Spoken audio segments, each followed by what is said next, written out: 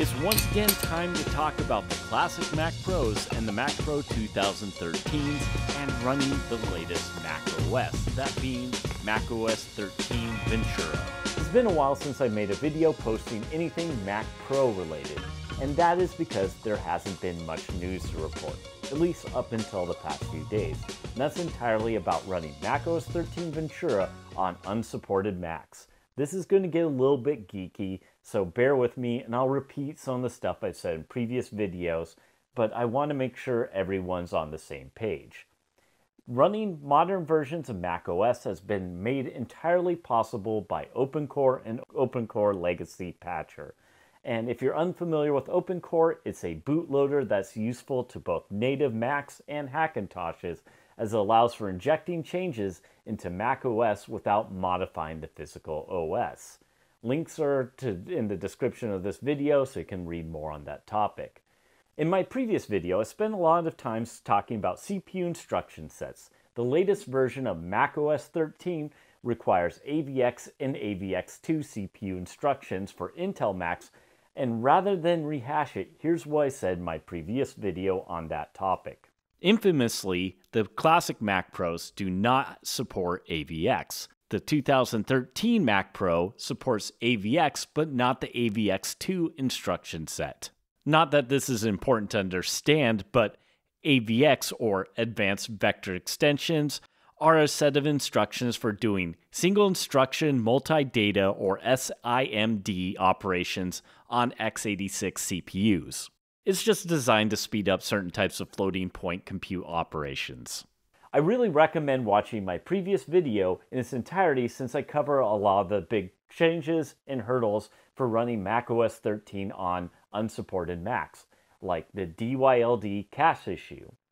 There are massive changes in Ventura related to both dropping this GPU and CPU support.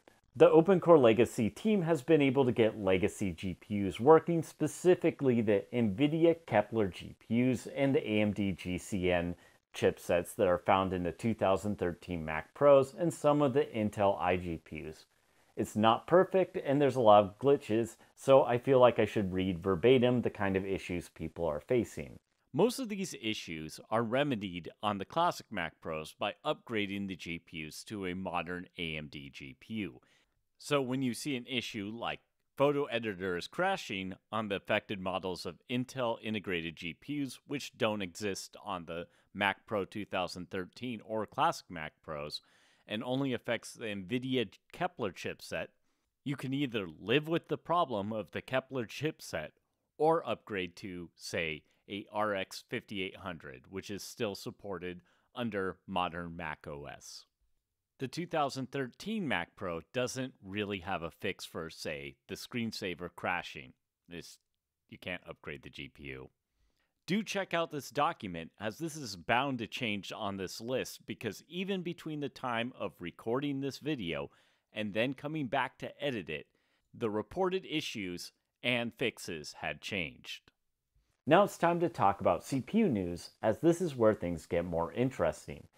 John DeGroof, who is a member of the OpenCore group on Facebook, is reporting that the famed Apple legacy support hacker Syncretic, he's done quite a bit of work to get classic Mac Pros working and also the GPUs like the AMD Radeon 6800 and 6800 XT and 6900 XT supported on the classic Mac Pros. The same guy is writing a AVX and AVX2 emulation set for non AVX supported Macs, and it's currently in a pre alpha state.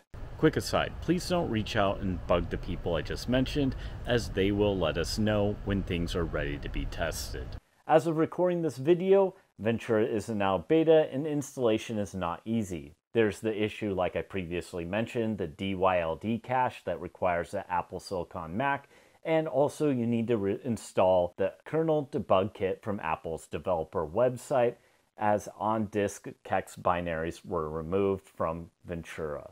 There's plenty of work to be done and things like USB 1.1 support and Ethernet are still not in OpenCore Legacy Patcher and may or may not ever be supported. So There's quite a bit of things that need to happen to make this more of a seamless install process and ready for prime time.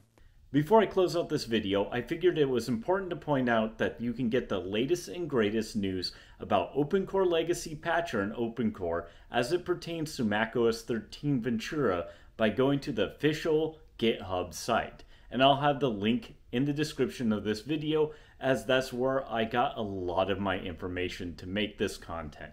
So please check that out. Thanks for watching and cheers.